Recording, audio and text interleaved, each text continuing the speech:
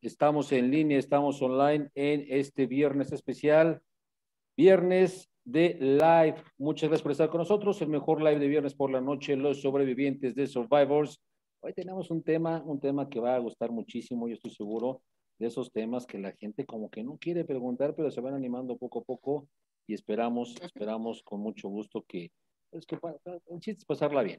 Señoras y señores, antes de eh, presentar a nuestra invitada, déjenme rápidamente saludar a mi compañero, el señor Leo del Arte. ¿Cómo estás, Leo? Muy bien, muy contento de tener aquí a Tatiana nuevamente con nosotros y de tratar un tema tan interesante, tan divertido, tan arriesgado, tan actual, ¿no? Porque, bueno, ya viene de tiempo atrás, pero se ha ido modernizando junto con los tiempos y creo que la gente se ha abierto un poquito más en mente, alma y cuerpo, así tal cual. Miguel Marito, hoy iniciamos, iniciamos un viernes sexoso. Hace mucho que no teníamos. No, no, no, oye, y qué mejor que te tener aquí a una experta, la verdad es que ella está muy preparada. Ella por eso siempre nos gusta, nos gusta buscarla. Ella es Tatiana Yedid Lastra, es psicoterapeuta, es sexóloga, es escritora y aparte de nuestra amiga y está el día de hoy con nosotros. ¿Cómo estás, Tatiana? Qué gusto verte. Muchas gracias, muy contenta de estar acá con ustedes. Ya tenía mucho tiempo que no nos veíamos. ¿Qué será? Como ocho meses, ¿no? De la última. Fácilmente, sí. Sí, yo creo que sí. Unos ocho meses. Unos ocho meses. Y en ocho meses pasan muchas cosas, digo, independientemente de que ya hay vacuna y que no la ponen y que la pandemia sigue, eh, pues tú te sigues preparando. Tú sigues, yo sé que estás en doctorado y estás muy trabajosa eh, has escrito dos libros que nos vas a platicar también de ellos. Uno de, ellos es Huella Fértil y el otro es Complicidades, que le pedimos a la gente que, que lo compren. Está disponible, ahorita os va a decir Tatiana, en qué librerías, me imagino que en todas, y también digital, pero es poesía erótica, ¿verdad, Tatiana? Huella fértil es poesía y fotografía erótica y complicidades es relato, es relato erótico. Relato erótico, ok. Y también hace poquito acabas ya de abrir una página en internet que también está padre, está interesante.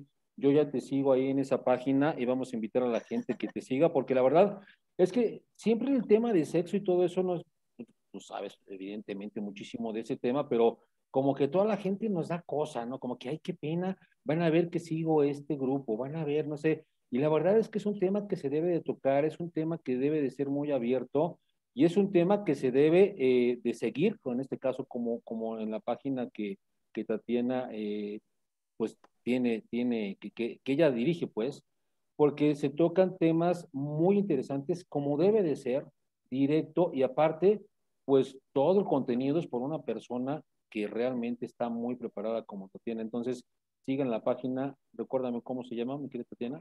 La página justo se llama Sexualidad Inteligente sexualidad inteligente.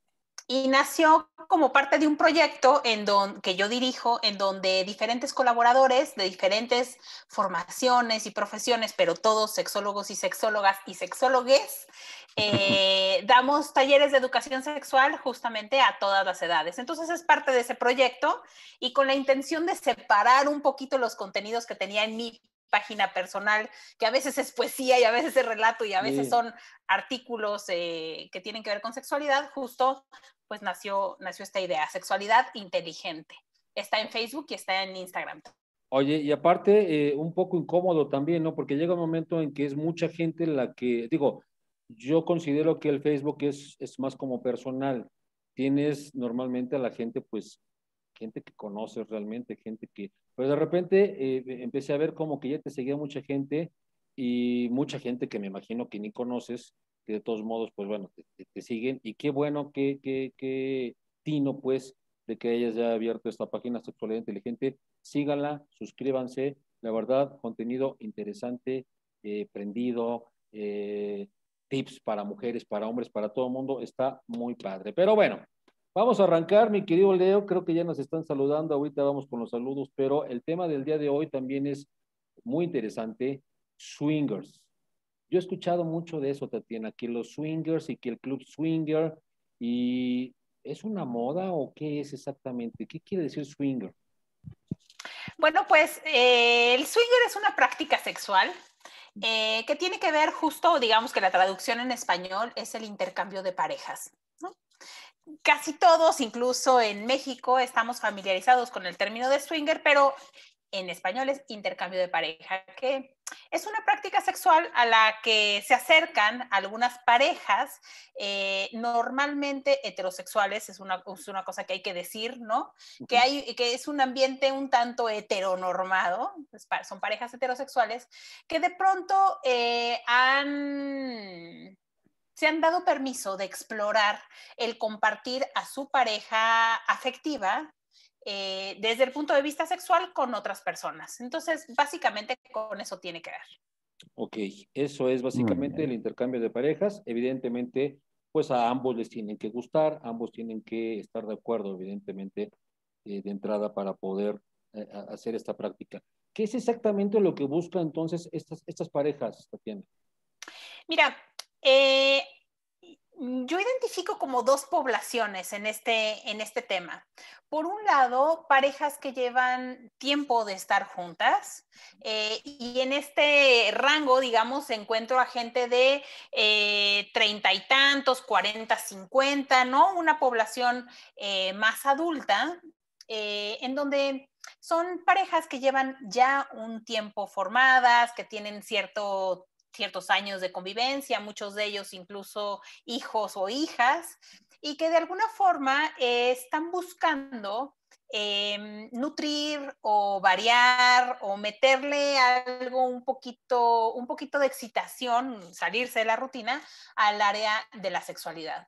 Entonces, de alguna forma, em, hacen un pacto para participar en fiestas o en clubs o en lugares eh, ir a lugares de encuentro swinger, conocer gente y compartirse sexualmente. Ahora, eh, la otra población que encuentro también ahora, porque antes eh, sí es cierto que es como una especie de moda, se ha ido abriendo este tema, porque hace unos 15 años eran muy poquitos los lugares swinger que habían en la Ciudad de México, siendo la Ciudad de México el monstruo que es, habían quizá dos o tres lugarcitos y todo lo demás era más privado. Hoy en día hay muchísimos más lugares swinger. Y entonces, justo lo que alcanzo a ver en la actualidad es que empiezan a ver también parejas jóvenes. Eh, parejas que a lo mejor están en, los 20, casi llegando a los 30 o en los, eh, en los 30 tempranos, ¿no? Que a lo mejor no tienen tantos años de convivencia ni una rutina como del todo establecida. Sin embargo, sí tienen esta curiosidad o esta, mm, estas ganitas por probar prácticas sexuales eh, grupales, ¿no? O donde participen más personas. Entonces, esas son las dos poblaciones que yo encuentro. No es, no es peligroso, no es peligroso de repente, porque yo he escuchado historias así como que, eh, pues sí, están de acuerdo ambas partes, los dos quieren probar, como tú dices, los dos quieren experimentar, pero de repente eh, he escuchado historias donde la, la, esposa se enamoró de otro o el esposo igual se relacionó sentimentalmente con la otra y que empiezan ahí las broncas o luego empiezan igual los celos, ¿no? Este, bueno, sí es cierto que como cualquier experimentación, ¿no? Cualquier experimento, tienes la posibilidad de que salga bien y tienes la posibilidad de que salga mal, independientemente de qué tanto hayas planeado la ocasión o qué tanto la hayas comentado con tu pareja, pues no es lo mismo decir, me voy a aventar del bungee, a estar arriba del bungee en la plataforma, ver para abajo y decir, eh, si me lanzo, no me lanzo, ¿no? De alguna forma estar ya en la circunstancia puede hacer que puede ser que las cosas no salgan bien, ni de alguna forma, justo son, son, son temas que hay que cuidar, ¿no? Y que de alguna forma em, hay, hay algunas sugerencias que podemos platicar para, para, irnos asegurando de que esta experiencia sea lo menos peligrosa o lo menos riesgosa eh, que se pueda. Porque justo una de las reglas swinger o uno de los concepto swinger es que la pareja se comparte a nivel sexual, a nivel erótico, pero no a nivel afectivo. Esa es una gran diferencia, esa es una gran regla para distinguir las prácticas swingers de otros tipos de relacionamiento de pareja o de otras prácticas también. Entonces, justo lo, lo, que pasa con los swingers es que tienen que ir trabajando, tienen que ir desmontando esta, este concepto mm, este tema de la exclusividad sexual. Prevalece la exclusividad emocional, esa la guardan y la cuidan para mantenerla en pareja y de alguna forma lo que abren, la puertita que abren es la puertita de la exclusividad eh, erótica o sexual. Okay. ¿Se puede lograr eso? Es decir, se puede lograr el que, a ver, es exclusivamente sexual. No se van a relacionar eh, sentimentalmente. ¿Sí se logra? ¿Querías decir algo, Leo? ¿Querías contestar? Sí, te vi con bueno, contestar. Más que contestar, complementar un poquito la pregunta de mi querido Omaro, porque tengo una duda. O sea, una, iniciaste que es un intercambio de parejas. Ahora, ¿cuántas parejas puede haber? ¿Y hasta cuántas parejas se puede llegar a convertir esto en una orgía? ¿no? O sea, porque sabemos que puede haber, de verdad hay algunas cosas que pueden malinterpretarse. ¿Qué se diferencia una con otra? Porque finalmente el compartir una pareja con otra pareja de manera erótica, no de modo afectivo, pues bueno, es lo mismo que tener una orgía, no se puede mencionar y qué tantos números de parejas son los que están permitidos o hasta, hasta dónde se considera swinger y hasta dónde se considera orgía. Ajá, ajá. Ok, bueno, pues mm, de una por una. Eh, sí, claro que se puede abrir el, tema erótico sexual y, permanecer cerrado el tema mm, amoroso. Y ahí te va un ejemplo, ¿no? Si una persona, un, un miembro de una pareja sale de viaje y tiene un encuentro erótico con alguien en ese viaje y regresa a su casa y a esa persona ni la vuelve a ver nunca en la vida, ni intercambiaron teléfonos, ni quedan de verse en un siguiente viaje, ¿no? Podríamos decir, y, esto está dentro del consenso de la pareja, por supuesto, ¿no? Porque si no estamos hablando de una infidelidad, si esta, si esta pareja tiene esta regla, pues de alguna forma eh, hay una apertura sexual pero que no compromete la parte amorosa porque tú no vas a volver a ver a esa persona. Entonces, de alguna forma, me parece que las parejas swinger desarrollan una serie de reglas o de acuerdos justamente para que, para, para tratar de que una relación erótica no vaya creciendo y se convierta eventualmente en una relación erótico-afectiva claro que puede salir mal, pues por supuesto que puede salir mal, ¿no? Pero algunas de las reglas, por ejemplo, son que la pareja acuda siempre a los lugares eh, en conjunto, ¿no? Que no se vaya una persona por un lado el viernes y la otra persona el sábado, por ejemplo, ¿no?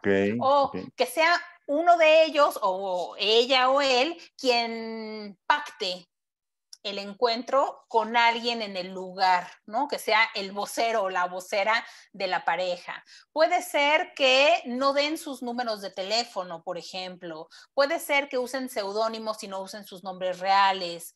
Puede ser que solamente vayan a lugares en donde no los conocen y, después cambiar a otros lugares en donde no se vuelva como un, un círculo de amigos que son o que se vuelvan familiares. Es, decir, hay un montón de, reglas que se pueden acordar justo para que para acoplarse al acuerdo y a las necesidades de cada pareja. Porque también habrán parejas que digan, no, bueno, a mí me gusta eh, estar con amigos y hacer amigos dentro del área swinger y que tengan mis teléfonos y que, ¿no? Eh, entonces, mm, de alguna forma, cada pareja tiene que ir encontrando lo que le funciona o lo que no le funciona. Entonces, con eso contestó la primera pregunta. Y a la pregunta de Leo, de esta, de esta de cuántas parejas hacen un intercambio y cuántas ya se vuelve una orgía. claro. Pues a mí me parece que también volvemos a la, a la al, al tema de que es totalmente personal. Hay quien va a los lugares swinger y tiene en mente participar, por ejemplo, con una persona, es decir, hacer un trío, ¿no? Otras personas podrán decir, no, bueno, yo nada más voy a interactuar con una pareja más. Otros dirán, no, yo voy a entrar al cuarto oscuro y voy a participar con quien esté y con quien se deje. Entonces, de alguna forma, una cosa que empieza como un intercambio entre dos, de repente se puede acercar a una pareja y si te gusta y te late y se sienten cómodos, pues la pueden integrar y de alguna forma, digamos que la fiesta va creciendo, ¿no? Okay. Y bueno, se convierte en orgías si la gente que está ahí participando lo desea y quiere participar y, y se mantiene en, un, en, una cosa muy cerradita si no lo quieres hacer. Okay. Eh, ir a los lugares swinger es muy curioso porque son lugares normalmente muy respetuosos, en donde tú puedes ir a ver, tú puedes ir a bailar, tú puedes ir a tomar, tú puedes ir a sentir cómo es el ambiente y nadie te va a estar dando lata. Nadie te va a decir, ándale, vente, ándale, porfis, es que mira y es que participa. No. En un lugar swinger, justamente una de las reglas principales es que no es no. Y no hay que dar explicaciones y no se vale volver a preguntar, eh, ¿no? Si tú ya le dijiste que no a una persona y esa persona insiste, enseguida lo reportas y se sale, ¿no? Lo sacan. Órale, qué padre. Entonces, sí es un ambiente muy, muy respetuoso, en donde tú vas a hacer justo lo que tú quieras. Y dentro del lugar swinger, tampoco tienes que swinguear. Tú vas eligiendo en qué cosas quieres participar y en qué cosas no quieres participar. ¿Tú ya fuiste a uno de esos, mi querida Tatiana? Claro, pues hay que ir, ver, conocer, si no, ¿cómo les voy a dar esta plática? Por supuesto, que, hay que conocer lo dices tal cual, así como si fuese una experiencia y eso está padrísimo porque uno piensa diferentes cosas y además sataniza las palabras, ¿no? O el intercambio de pareja y demás. Y de aquí, por ejemplo, me surge una pregunta. Dices, entonces, aquí en este caso, ¿es mejor ser eh, o, bueno, ser swinger, es que iba a decir swinguear, swinguear tal cual, ¿es mejor a ser infiel o no? Mira, yo no te puedo decir qué es mejor o qué es peor, porque eso es una decisión totalmente personal, ¿no? Yo te puedo decir cuál es mi postura al respecto y qué es lo que yo opino al respecto. Y después cada quien se tendrá que identificar con o, hacer su propia reflexión. A mí me parece que son cosas totalmente distintas. Em, en el caso de la gente que practica el swinger, justo una de las cosas más importantes dentro de la pareja es la comunicación y los acuerdos. Entonces, eh, lejos de mm, debilitar la relación, a mí me parece que si ambos quieren participar y ambos se ponen de acuerdo y ambos lo platican, eso puede ser una gran experiencia, no nada más a nivel de comunicación, sino a nivel erótico en la pareja. Este, mucha gente reporta que después de acudir a un lugar swinger y tienen una buena experiencia, lo que hacen es llevarse a casa un montón de fantasías, un montón de energía, un montón de excitación y que la vida sexual en pareja eh, mejora y detona eh, de una manera interesante, ¿no? eso, es lo que pasa con la gente swinger, que de alguna forma eh, rompe con un prejuicio, rompe con un tabú, rompe con, con una convención que tiene que ver con la exclusividad sexual y le apuestan a construir en el vínculo, ¿no? A construir cosas en conjunto. por el otro lado, lo que observo en el otro esquema que tú propones, que es la infidelidad, justo me parece que ocurre lo contrario. En lugar de propiciarse una comunicación, de hablar de qué quiero y qué quieres tú y ponernos de acuerdo, estamos tomando una salida distinta que es yo voy a hacer lo que yo quiero y necesito y se lo voy a ocultar a mi pareja. Ok. Entonces, en ese sentido, me parece que este otro esquema quizá puede ser una salida más rápida, quizá puede ser una salida más fácil. Eh, sin embargo, me parece que no es una salida constructiva para la pareja. Y que en el momento que tu pareja se entere, porque la cosa hoy en día está tremenda. Todo deja huella, todo deja rastro digital, las comunicaciones son por el teléfono. No te imaginas la cantidad de casos y de consultas que tengo en, consultorio justo por temas de infidelidad. Y quizá sí ha aumentado el índice de infidelidad, pero a mí me parece que también ha aumentado la posibilidad de que tu pareja se entere. Y entonces, eh, pues habrá que asumir las consecuencias de ello, que no necesariamente van a fortalecer a la pareja, ¿no? Entonces, a mí no me parece que sean comparables. Pienso que son dos caminos distintos que logran y buscan cosas distintas. Y es mejor el swinger. Entonces, como me lo explicaste, es mejor el swinger. Fortaleces y prevaleces en tu relación de manera conjunta. El otro queda descartado. A mí me parece que es una es un recurso o es una posibilidad honesta, ¿no?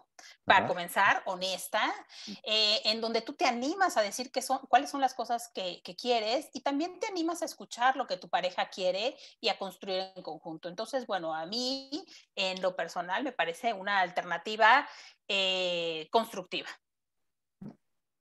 Muy bien. Oye, Tatiana, ¿qué tipos de prácticas se tienen? Digo, ahorita hablabas del, cuarto oscuro, ahorita hablabas de que me, imagino que depende del lugar, pero hay lugares en los que, que, es un tipo bar, en donde tú dices que puedes ir nada más a ver, eh, puedes ir nada más a conocer.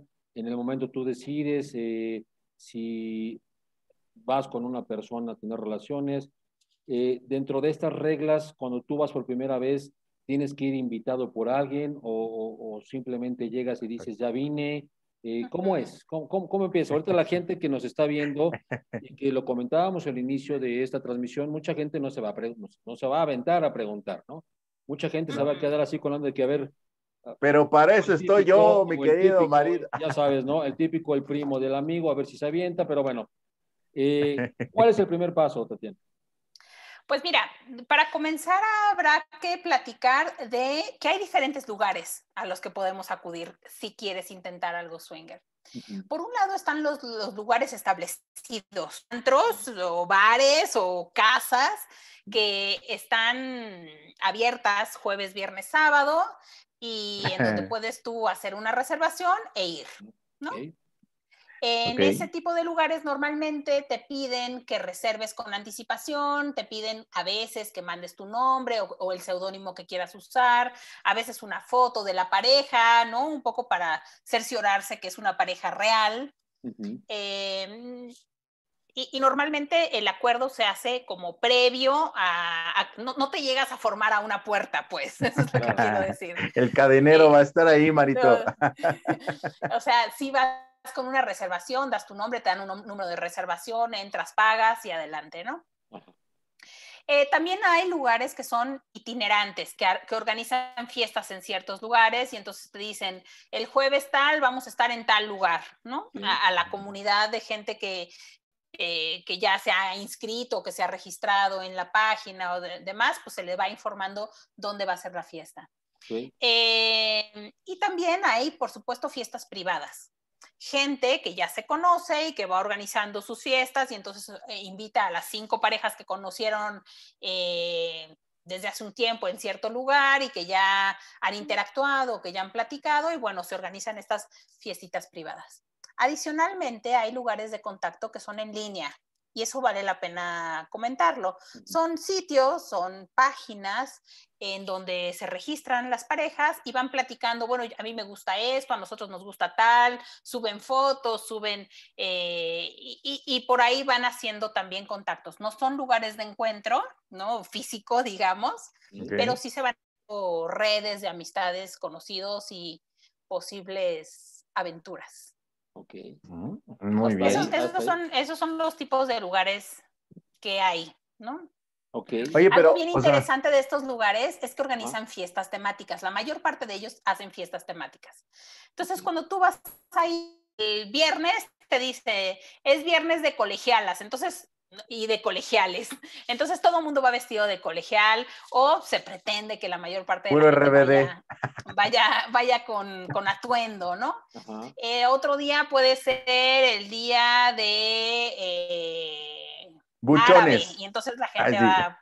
O puede ser el día de la lencería y entonces la gente va, o el día de medias, en fin. También de dibujos animados. Ay, sí. Eso sí no lo he visto. También hay, hay días, hay días particulares en donde se promueven cierto, cierto tipo de comunidades. Por ejemplo, hay eventos en donde no se permite entrar a gente soltera, solamente se permite la entrada a parejas. Pero también hay otros días o otros lugares que permiten la entrada de eh, varones solos, porque suponen que va a haber cierta comunidad o invitan a cierta comunidad eh, a la que le gusta hacer tríos, ¿no? o a las que les gusta una práctica que se llama eh, cornudos, cornudos o cocold. Es, es, una práctica que, puede, que se realiza también en los lugares swinger, en donde ¿Qué es eso una pareja Perdón, del corneador y el cornudo. Una pareja asiste al lugar eh, contacta con, un tercer, con una tercera persona, en este caso un varón, que será la persona que tenga contacto sexual con la mujer y su pareja, su pareja erótico-afectiva, estará mirando o estará excluida de la actividad. Ok. O sea, como bowlerista, totalmente, pudiese ser. Sí, o sea, eh, sí se queda como en una posición escoptofílica o voyeurista, está viendo, pero también un tanto excluido. Y en esa exclusión hay como cierto sufrimiento y cierto celito y cierta humillación, que es justo lo que buscan en esta práctica co-code.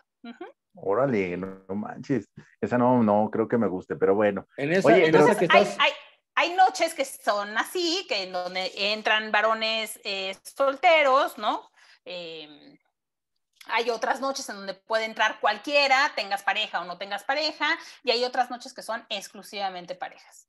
Ok, ahí en ese caso, evidentemente la, pareja ya decide, yo sí quiero ir a la noche de cornudos o yo quiero ir, no, parejas nada más, ¿no? Claro, por eso se anuncia, para que tú puedas eh, ir la noche que se adapta un poquito más a lo que tú estás buscando y a las prácticas que, quieres realizar. Ok, ¿les parece si hacemos un paréntesis, mi querido Leo, y vamos con la, con la ah, que está escribiendo? es que tengo un montón de dudas, pero bueno. Oye, aquí nos está saludando Ivonne Rodríguez, hola, linda noche, saludos a los tres, gracias. Hola, Ivonne. También eh, Pili de España, Pili GR de España, gusto en saludarlos, mucho gusto, Tatiana. Gracias, Leo y Maro. Judith Madrid, buenas noches, feliz noche de viernes. Gracias, Judith, un abrazo. este, Guille García, muy buenas noches, Maro, Leo y Tatiana. Pili, otra vez dice, aprender es muy importante. No se puede expresar y hablar sobre algo que no se conoce, exactamente, pero se puede preguntar muchísimo, muchísimas cosas. Edith Pablo dice, hola Maro, Leo y Tatiana, buenas noches. Hola mi querida Edith. Vane Serfati de allá de Venezuela dice, hola, hola, hola mi querida Vane, un saludo. Aurora Pérez, ¿hay algún listado de lugares swingers seguros? Esa es una pregunta que queda ahí. Este, por acá, Angélica Castillo, hola, buenas noches chicos e invitada, gracias mi querida Angie. Mirta Mondragón Alcaraz, generalmente inicia como fantasía y termina siendo un estilo de vida. Hay gran diversidad de gustos y preferencias. La regla básica es confianza plena en pareja, nada de sentimentalismos. Yasmín Fajardo, mi querida Yasmín, buenas noches, sobrevivientes. Y Tatiana, felicidades por el tema y la apertura para abordarlo. Y Mirta Mondragón dice, cornudo y unicornio. Son, yo creo que las dos, no sé cómo se le dice, dos fiestas diferentes. Son justamente estas prácticas que tienen que ver con incluir una tercera persona en el vínculo sexual. Mm, muy bien, perfecto, pues ahí está. Bueno, ahí estuvo la pregunta de mi querida este, Aurora, si no me equivoco. Ajá. Sí, por acá, por acá apunté dos preguntas. Eh, bueno, era un comentario de que empieza como fantasía y termina como esta.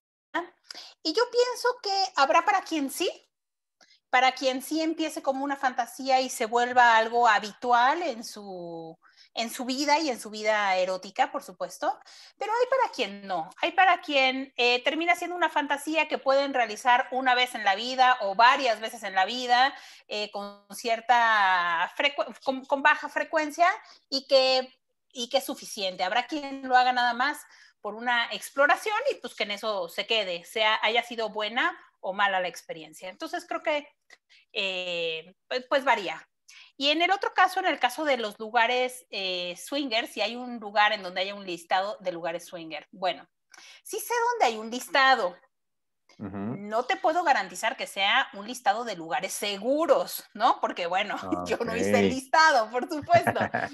Eh, yo lo que te sugiero en ese caso es entrar a una página justamente de estas de las que yo comentaba, que por ahí se pueden dar contactos swinger, que se llama SDC. O sea, S de Sonia, D de Daniel y C de Carlos.com. Es una página eh, norteamericana en donde vas a poder, claro, tienes la posibilidad de registrarte, pero tendrías que pagar. Y también tienes la posibilidad de visibilizar algunas áreas del sitio. Y justo en ese, en ese lugar podrás encontrar, puedes poner lugares swinger en Bélgica, lugares swinger en Alemania, lugares swinger en Cuernavaca, lugares swinger en... Y ahí te sale el listado eh, por ciudad, por país. Mm. Em, hace un rato que no entro a esta página, pero sí más o menos te podría decir que la última vez que la consulté, quizá tenía unos 20 lugares en la Ciudad de México.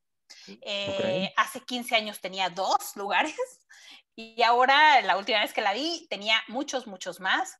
No te puedo asegurar que sean seguros, yo no los conozco todos, pero creo que vale la pena eh, investigarle, entrar al listado, el listado tiene ahí todos los nombres de los lugares, ahí con su propia liga para que tú entres y veas el espacio, conozcas las reglas, veas quién lo administra, ¿no? ¿Qué te dicen los administradores, cómo presentan el lugar y que a fin de cuentas, a partir de eso, puedas este, tomar una decisión.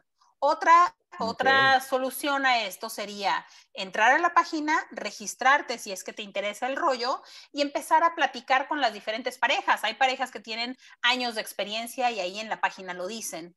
Y entonces quizá a través de estas conversaciones te puedas enterar de cuál es el lugar de moda, cuál está bien, cuál es seguro, cuál no, cuál se llena mucho, en cuál hay gente muy joven, en cuál hay gente muy grande, ¿no? Y de ahí empezar a, a tomar decisiones. Ok. Muy bien. Oye, aquí nos está preguntando Pili. Dice, mi duda es, México es muy cerrado en este tema por la situación religiosa y por machismo. ¿Cuántos años más o menos han pasado de que se inició esta práctica y qué país lo inició? Son tres preguntas. Bueno, pues son preguntas para las que no tengo respuestas. Yo te voy a decir mi punto de vista. ¿Cuándo empezó en México? Yo no tengo la menor idea, ¿no? La primera vez que yo supe de esta práctica y empecé a investigarla fue hace 15 años. Eh, quizá, sí, 15 años, 15 años. Y habían dos lugares y sí recuerdo que uno de esos lugares era un lugar de tradición, o sea, ya para ese entonces ya tenía una tradición. Eh, tú llegabas al lugar y tenía fotos de un montón de artistas, de gente conocida, eh, ¿no? Ahí en el lugarcito. No era lugarcito, era un lugar bastante grande. Eh, yo, yo llegué a ver en esas fotos sobre todo artistas. Políticos, mm, la verdad no sé mucho de política, entonces igual y ni siquiera los hubiera reconocido, pero los artistas sí los llegué a reconocer, a algunos. No los puedes eh, quemar, ¿verdad? No, los, no puedes. La verdad, ni, la verdad, ni, me acuerdo quiénes eran, solo, solo me acuerdo que me pareció curioso encontrar ahí las fotos como estos, como estos restaurancitos como de los años 70, ¿no? Que ponían la foto o el plato de quien comió en ese lugar, un poco, un poco tenía ese, los restaurantes vibra. los restaurantes que están cerca de Televisa y obviamente pues van muchos actores y Sí, sí, sí tenía como esa vibra. Bueno, el caso es que, por supuesto, no, no tengo ni idea de cuándo haya iniciado en México. Lo que sí sé es que cada vez se ha vuelto más público. Probablemente haya empezado eh, con fiestas privadas, ¿no? En lugares cerraditos, en donde no se, no se mostrara ni se viera quién entra y quién sale en lo clandestino y finalmente después se fue abriendo un poquito más. Aún sigue siendo un tanto secreto y clandestino, ¿no? Les digo que en las entradas uno no sabe que eso es un lugar swinger. Uno ve una entrada y una persona parada ahí en la entrada y resulta que ese es el ballet parking y quien te toma la reservación, pero pero en realidad no notas que es un, que es un lugar, digamos, al que el público puede entrar. Okay. ¿En dónde empezó los swinger? Pues también lo desconozco. Lo que sí sé es que hay en todas partes del mundo. Al lugar al que tú vayas, el lugar que tú consultes en SDC, tiene, tiene, tiene lugares, tiene antros swinger.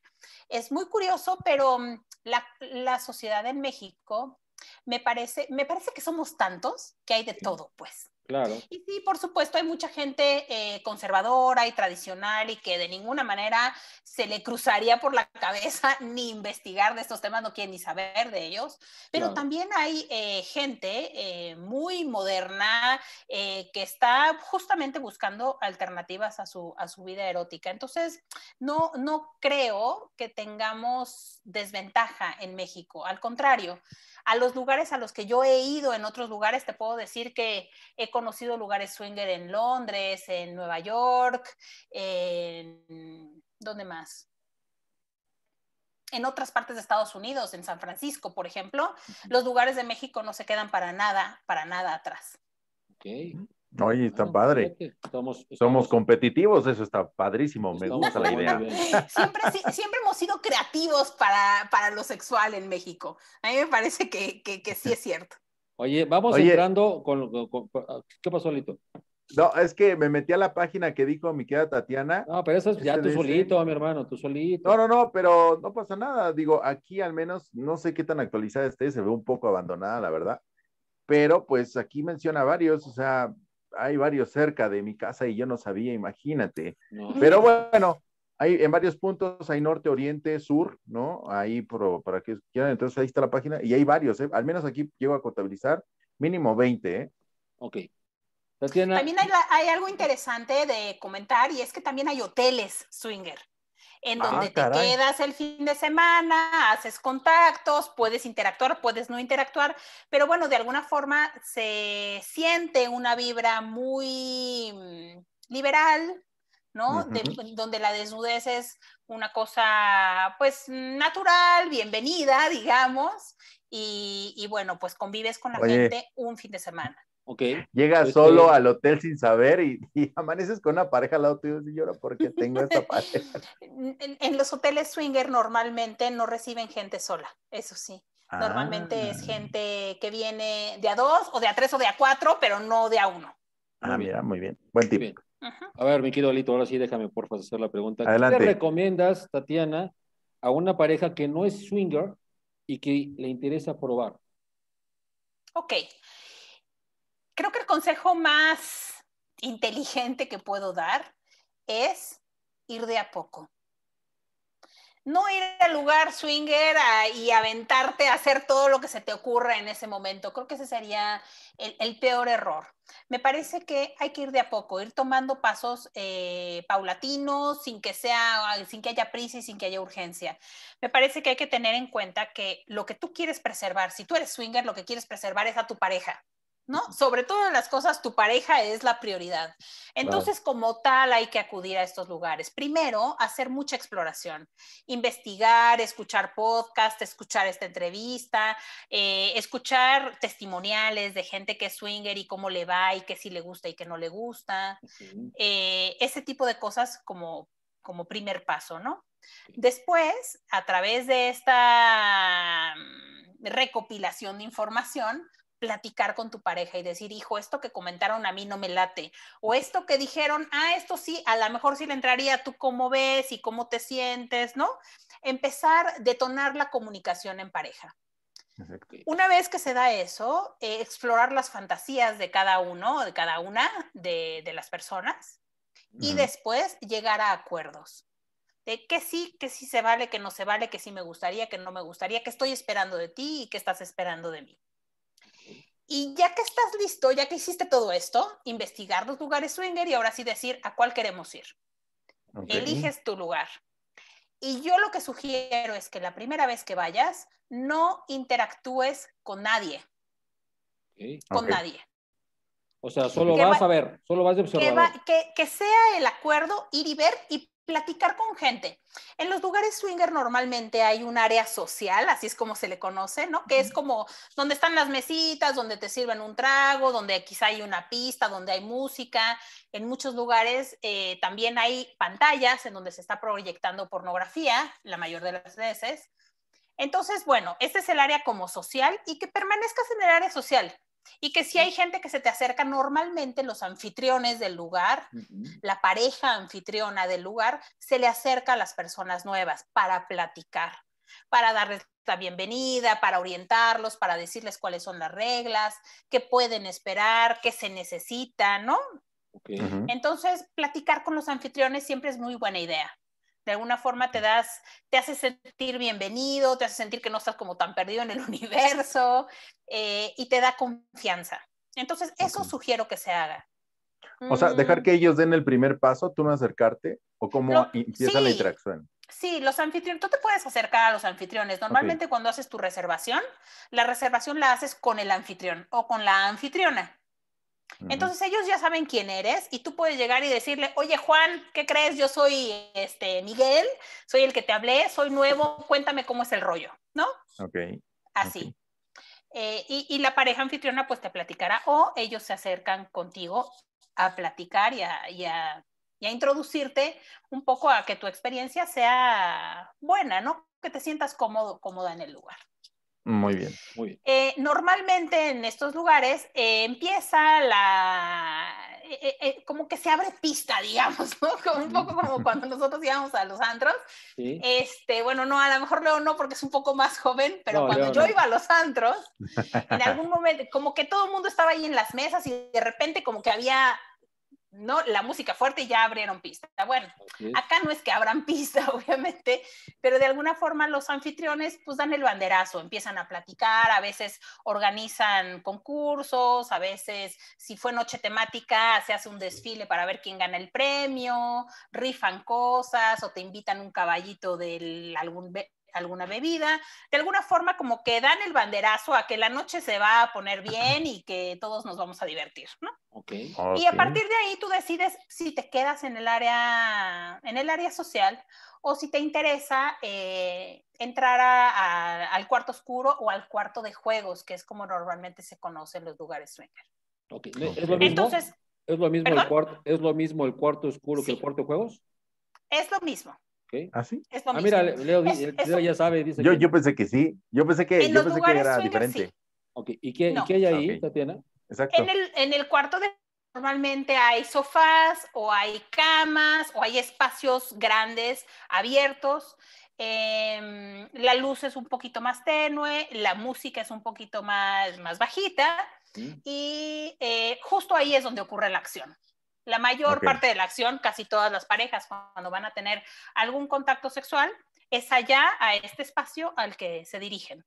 Entonces muchas personas conocen a la gente afuera, platican con la gente afuera y luego cuando ya se pusieron de acuerdo con respecto a qué quieren hacer, con quién, qué sí quieren, qué no quieren, cuáles son las reglas, que es muy importante. Una vez que tú ya llegaste a un acuerdo con tu pareja, entonces si vas a interactuar con otras personas, tendrás que ponerle decirles qué quieres y qué quieren ellos y ver si llegan a un acuerdo.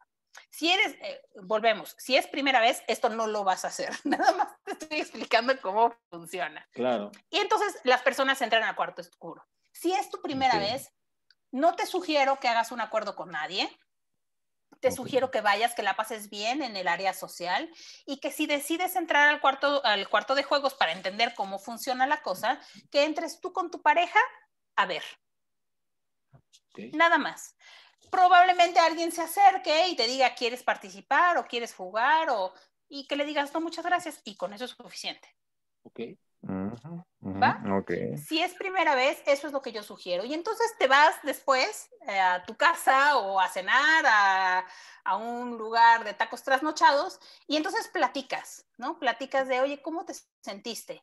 ¿Y, qué te pareció platicar con esta persona? ¿Y qué te dijo tal? ¿Y cómo te sentiste en el área social? ¿Y cómo te sentiste en el cuarto de juegos? ¿Y qué te pasó en el cuarto de juegos? ¿Hubieras querido participar? ¿En qué sí? ¿En qué no? Y entonces empezamos a hacer esta, en, en psicología hablamos de una técnica que se llama aproximaciones sucesivas. Es decir, no te lances de golpe, ¿no? Hay que ir acercándote a las situaciones e ir viendo qué, qué, te va pasando a ti y qué le va pasando a tu pareja con ello. Y entonces, a partir de esta reflexión o de esta retroalimentación de cómo te fue en esa ocasión, pues podrás ir planeando los siguientes pasos que también deberán de ser paulatinos. ¿Sí? ¿Les hace sentido?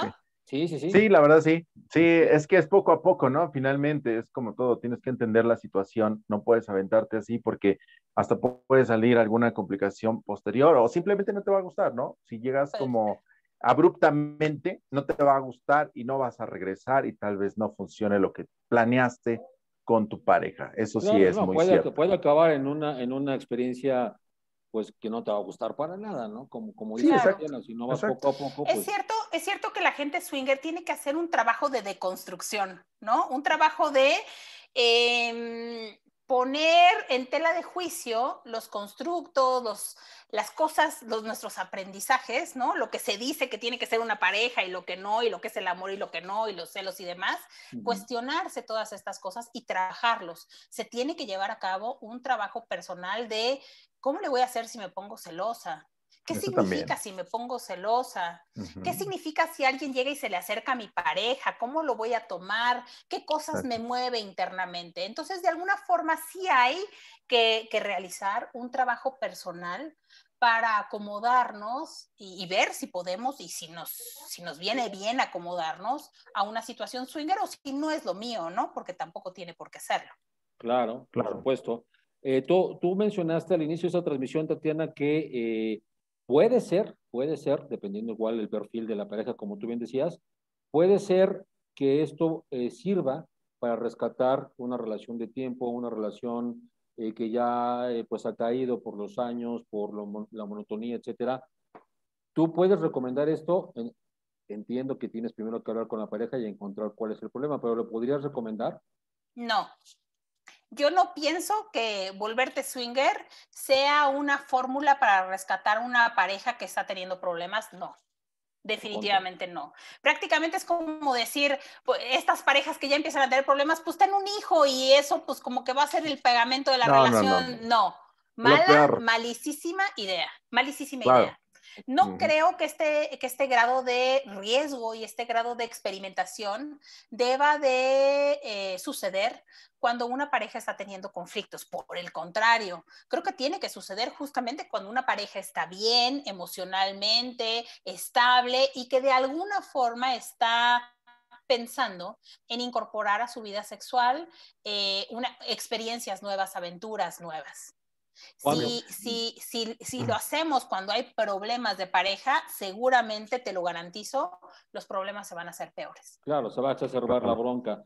Eh, ¿cómo, ¿Cómo acercarse? Habrá mujeres y habrá hombres que de repente digan, bueno, yo estoy bien con mi pareja, quiero empezar a explorar esa posibilidad y, y que de repente la, la, pareja pues no te reaccione con que, oye, pues es que no estás a gusto conmigo y porque, ¿cómo se le acerca a una pareja para tocarle este tema? Fíjate que creo que tu pregunta tiene, tiene que ver con un rollo de que nos sentimos en ocasiones amenazadas o amenazados cuando nuestras parejas sexuales mm, y, y afectivas nos comunican sus fantasías. Y de repente se nos empiezan a mover los demonios internos, ¿no? Y empezamos a pensar, híjole, a lo mejor no soy suficiente, a lo mejor ya no le gusto, a lo mejor ya me hice viejita y, ¿no? Y, ya no le gusta mi cuerpo, eh, a lo mejor ya no lo satisfago, a lo mejor me va a dejar, ¿no? A lo mejor si no accedo me va a ser infiel empiezan a, empiezan a moverse un montón de demonios cuando, cuando nuestras parejas nos comentan sus fantasías. Entonces, creo que, creo que uno de los, de, los, de los principales pasos que hay que dar es entender que las fantasías todos tenemos, todos y todas tenemos fantasías. Y que hay fantasías que se llevan a cabo y hay fantasías que nunca se llevan a cabo y que solamente con tenerlas ya nutren nuestra, nuestra imaginación y nuestra vida erótica interna, ¿no? Hay fantasías que si yo platico y, comento, eh, resulte que la otra persona las comparte y entonces quizá nos interese pensar la posibilidad de llevarla a la realidad. Y habrán fantasías que yo comente y que mi pareja me diga, pero ni de milagro. O sea, eso yo no lo comparto. Entonces creo que hay que estar abiertos tanto a pensar que una fantasía no quiere decir nada de ti, una, una, fantasía de tu pareja no quiere decir nada de ti, eh, que no se tiene que llevar a cabo a fuerza, que no tienes que participar a fuerza porque el otro tenga fantasías y que podrán llevar a cabo las que compartan y las que no se compartan, no. Okay. Ok. Oye, nos preguntaban hace un momento, Yasmín Fajardo, aquí en los comentarios, decía, ¿qué precio eh, pueden llegar a tener estos lugares? Y la otra, bueno, iba a hacer la misma pregunta. Ya te... Se congeló ya, Leo. Ya se congeló Leo. Oye, pero iba a decir, ¿cuántos, cuántos precios tiene, qué precio tiene y dónde pago? Dice Yasmín. este, pues mira, ¿Dónde se paga? Normalmente se paga, hay, hay, dos alternativas, o por lo menos son las que yo conozco. Ah, Leo, ya volviste. Ya regresaste, Leo. ¿Dónde se paga y cuánto se paga, verdad? Ah, no, mejor dicho, este, ¿cuánto se gasta en estos lugares? Ok, ok, ok. Bueno, eh, con respecto al pago, le contestaba a Maro que mm, hasta donde yo recuerdo y en mis experiencias hay dos formas de pagar. La primera es que hagas un depósito, que hagas una transferencia para pagar tu reservación previa al evento y el día del evento ya solamente te presentas con tu número de reservación de pagar es justamente en la entrada. Hay lugares en donde solo te piden que confirmes tu reservación y a la entrada pagas. Eh, ¿Cuánto pagas? Pues supongo que dependerá del lugar y también supongo que dependerá de la noche, del evento que se esté llevando a cabo. Eh, y de la hora a la que llegues, como en cualquier antro, hay promociones y entonces si llegas antes de las nueve o si vienes en pareja o si te traes a una amiga adicional y entonces es un trío, supongo que por ahí te van haciendo algunos precios especiales. Eh, y lo mismo, supongo que hay lugares en donde se gasta uno mucho dinero y supongo que hay lugares en donde no. Por ejemplo, em, supongo que el más barato que yo encontré fue quizá, me, estoy como tratando de acordar, ¿eh? Quizá pagué 300 o 400 pesos la entrada, quizá, ¿no?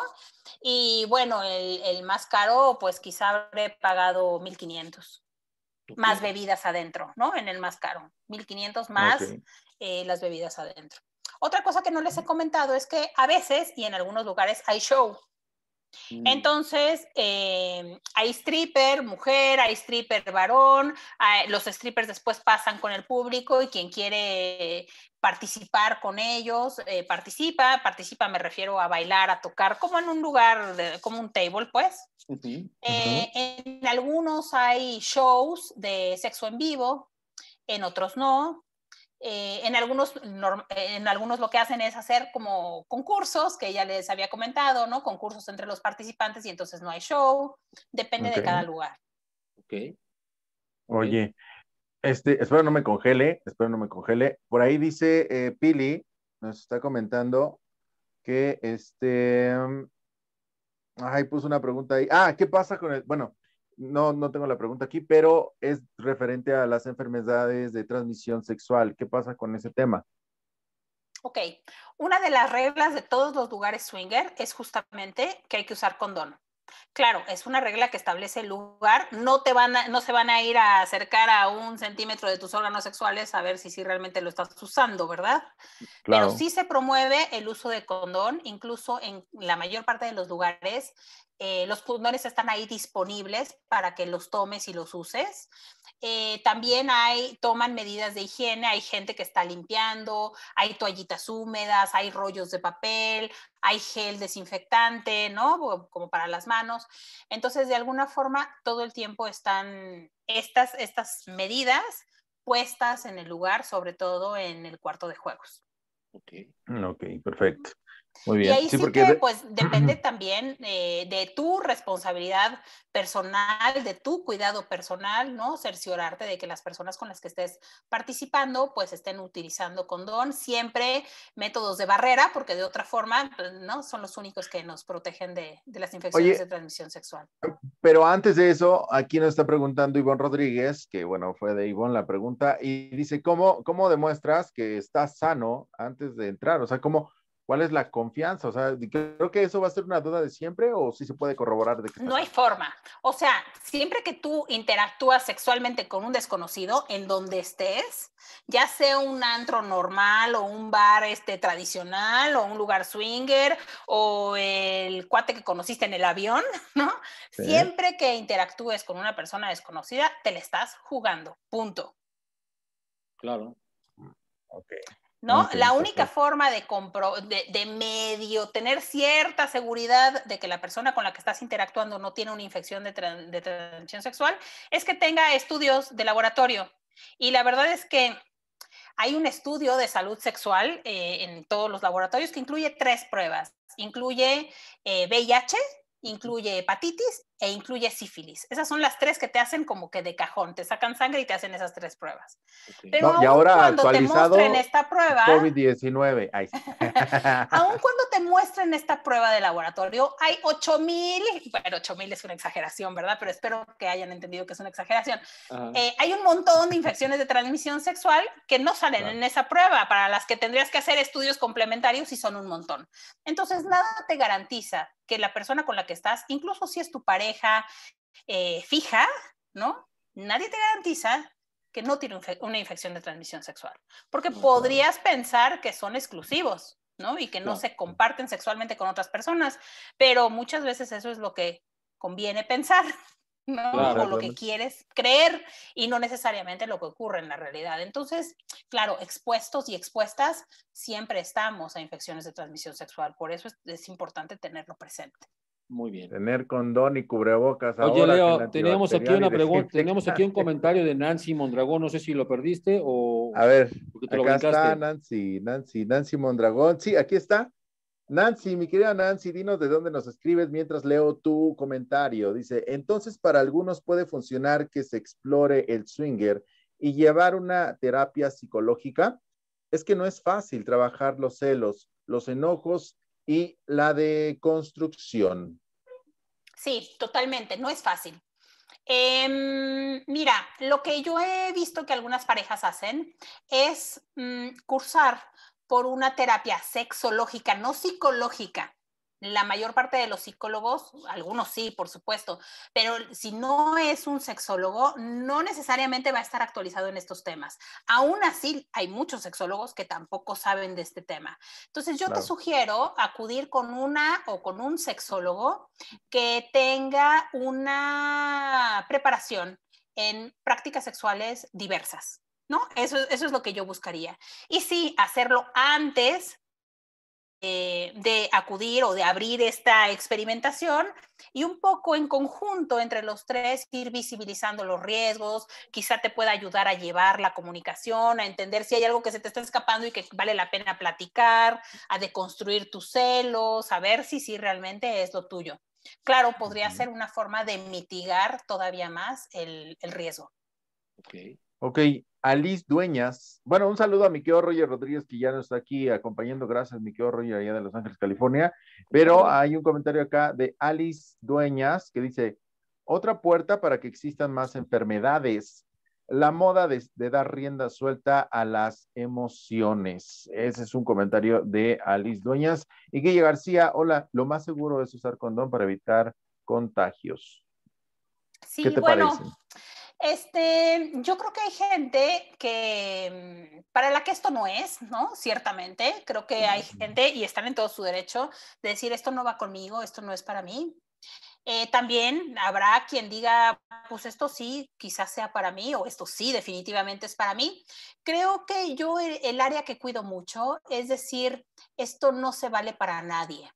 Eso es, eso es, eso es lo que yo creo que hay que cuidar.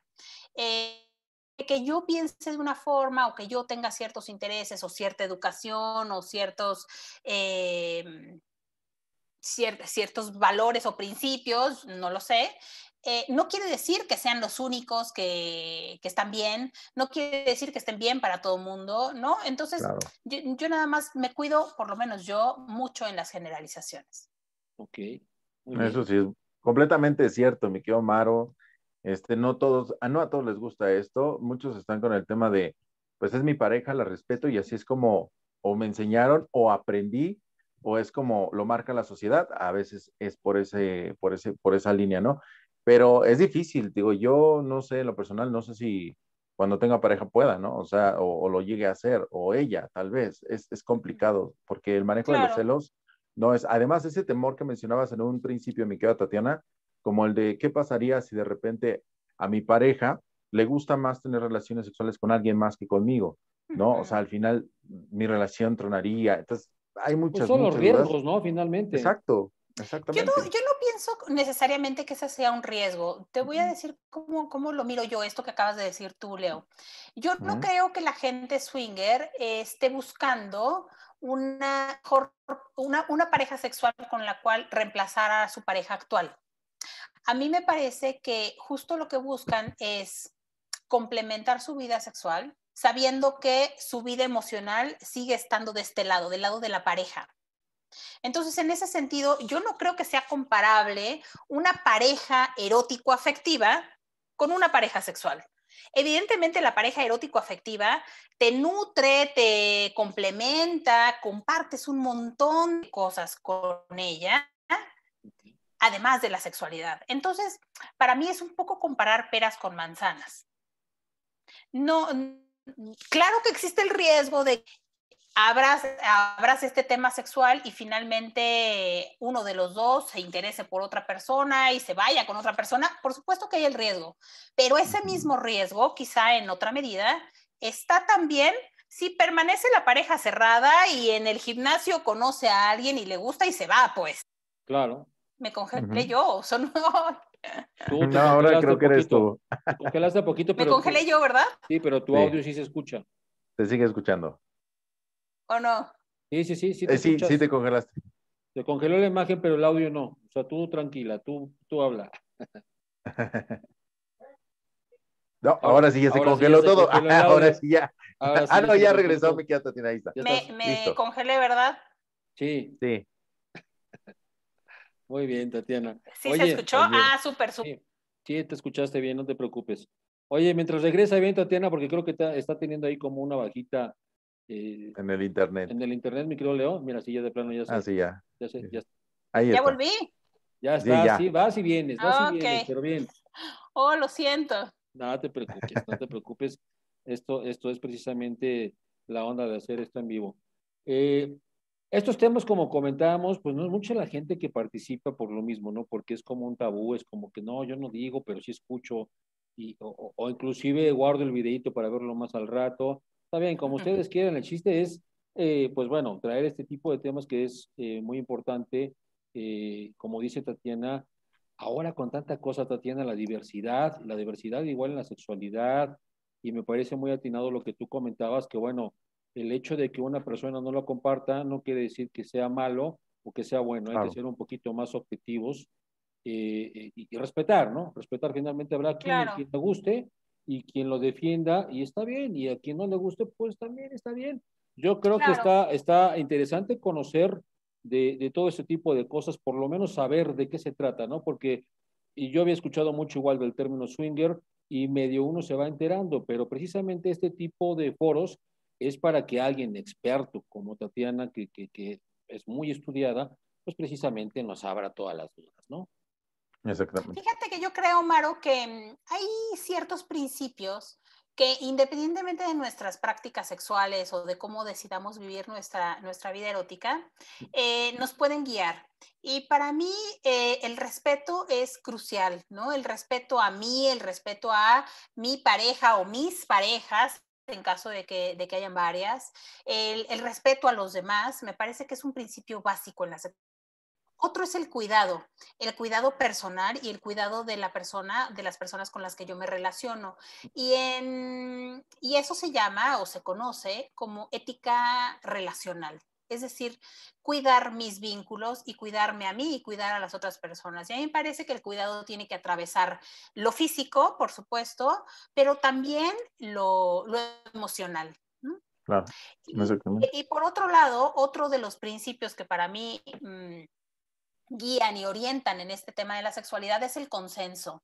Estar eh, seguros de que las personas que están participando están participando porque quieren, por su propia voluntad, sin ninguna presión, sin ningún, bajo ninguna amenaza, y que el consenso sea algo continuo. Es decir, que la pareja llega a este lugar y tiene ganas de estar ahí, y al ratito a las dos horas vuelven a checar, oye, todo bien, todo bien, sí, sigo queriendo estar aquí. Y a las dos horas vuelven a checar y sí, sigo queriendo estar aquí. De alguna forma, el consenso no es algo que uno puede dar por hecho, sino que es algo que uno tiene que estar verificando que, exista y que sea continuo a lo largo de cualquier cosa en la que esté participando. Oye, está, está, padrísimo eso que estás comentando, mi querida Tatiana, porque Finalmente hay principios dentro de todos y creo que esos hay que valorarlos más que cualquier otra cosa. La diversión sexual, pues sí, puede ser un momento, puede ser como un acuerdo, por un momento, por un rato, por algo, para probar, para experimentar algo que te está ofreciendo la vida, pero finalmente hasta ahí llega, ¿no? Tiene que haber un límite para todo y siempre lo hemos mencionado, debe haber un límite para cualquier tipo de cosa. Yo había escuchado Cada también... quien define dónde está su límite, ¿no? Exactamente, exactamente. Había escuchado también de viajes swinger, estos también se llegan a dar. O sea, no solamente hay lugares eh, físicos, también hay como cruceros, como viajes Ah, en sí, persona. sí, sí, Ok. sí. También hay viajes y también hay cruceros, sí. Ok, Eh, a, a esos no he ido, pero, pero sí, sí sé que de su existencia. Muy Ok. bien. Pues padrísimo, padrísimo. Se nos está acabando el tiempo, mi querido Leo, Tatiana. Ayer Eh, voló. adicional, adicionalmente, no sé si tengas algún, algunos tips o algo adicional que nos quieras compartir, Tatiana. Y por supuesto que la gente eh, que nos está viendo ahorita y que, y que nos va a ver después, pues te contacte precisamente porque tú eres terapeuta, eres sexóloga y puedes precisamente, tú decías hace rato, cheque quién, cheque que alguien que esté capacitado o alguien que esté eh, pues enterado precisamente de toda la diversidad. Y tú lo eres, ¿no? Yo sé que muchas veces uno mismo, le, le cuesta a uno mismo eh, recomendarse a uno mismo, ¿no? Valga la redundancia. Pero si tú lo eres, pues ¿por, por qué no te recomiendas tú? No, por supuesto, por supuesto que puedo acompañar a, a cualquier pareja en este proceso de, de descubrimiento, de reflexión, de comunicación, eh, para entender de qué forma quieren vivir, explorar eh, su sexualidad. Sí, por supuesto que, que, que puedo hacerlo.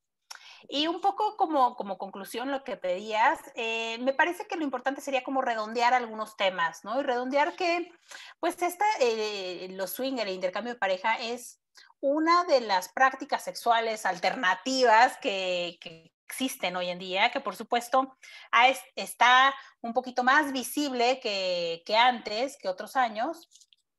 Eh, que si tienes el interés de participar, eh, te asegures de tener una buena comunicación con tu pareja, una, una buena planeación, una anticipación de lo que puede ocurrir y que estés dispuesto, dispuesta a cuestionarte estos principios tradicionales del amor, de la sexualidad, de la pareja, de la construcción de pareja, ¿no?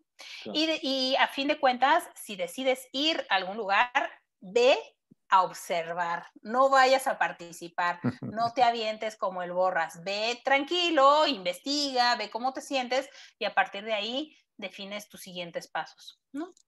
Obviamente, pues si conoces gente swinger o puedes eh, investigar testimonios, puedes investigar eh, podcast de gente swinger, pues hazlo, investiga cómo, cómo se vive esa situación y bueno, finalmente decide a partir de ahí. Ok. Muy bien. Muy bien. Quiero Leo. Ok.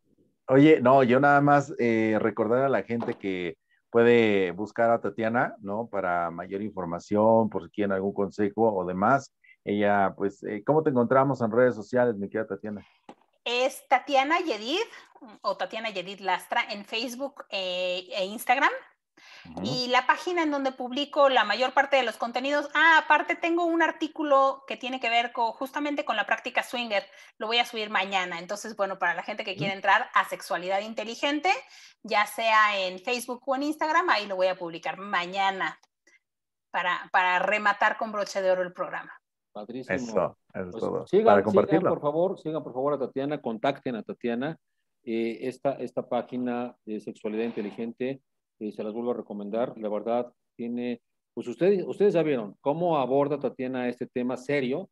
Es un tema serio, lo, lo, lo aborda de una manera muy profesional y así son todos los contenidos de esta página. Yo creo que vale mucho la pena seguirla. Sí.